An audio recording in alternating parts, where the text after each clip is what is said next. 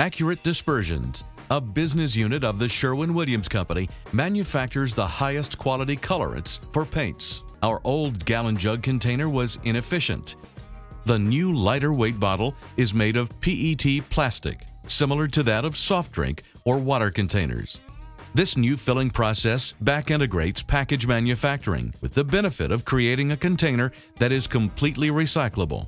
An example of ordinary people achieving extraordinary results.